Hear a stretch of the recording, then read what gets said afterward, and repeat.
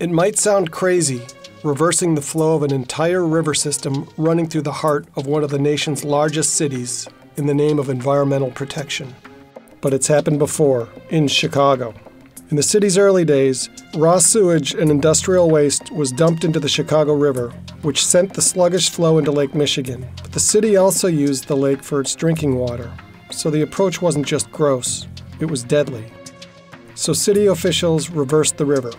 They dug a channel at the headwaters of the river that sent all of the waste west, out of the Great Lakes watershed, into the Mississippi River Basin, and ultimately down to the Gulf of Mexico. For the next 100 years, the canal system was considered an environmental and economic success. It created a navigation corridor that increased shipping and ensured an abundant, safe drinking water supply for Chicagoland. But this 19th century ecological fix has become big trouble in the 21st century because the canal is now recognized as a superhighway for invasive species. Not just the Asian carp, but 37 other invaders. From the bloody red shrimp to the sea lamprey to the northern snakehead, they are all poised to use the canal to invade fresh waters. And it's not just a highway into the Great Lakes. Many invasive species threaten to go the other way, spilling from the Great Lakes into the Mississippi Basin, which spreads across almost half the landmass of the lower 48 states.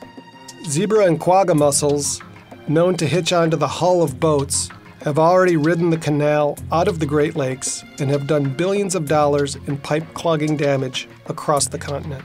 From catfish farms in Arkansas to the Great Lakes multi billion dollar fishery, species using the canal to launch an invasion pose a massive economic threat.